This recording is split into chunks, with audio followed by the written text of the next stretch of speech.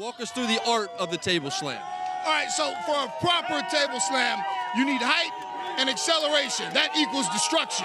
So, uh, Omos, grab that Packers fan.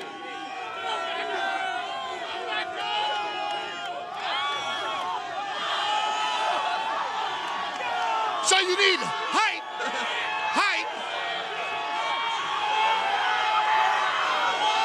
and then acceleration, except